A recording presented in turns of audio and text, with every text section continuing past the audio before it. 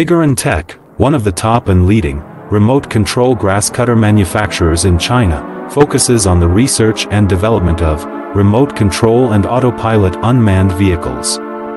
Remote control lawn mower is our current main product, widely used in lawn mowing and weed cutting, suitable for orchard, steep incline, front yard, wasteland, wildfire prevention, thick bush and so on. The RC mower adopts CE and EPA approved gasoline engine, 200 meters long distance remote control, adjustable cutting height, travel speeds up to 6 kilometers per hour. Based on the in-depth understanding of our own products, we can provide the best after-sales service. We are looking for distributors and dealers all over the world.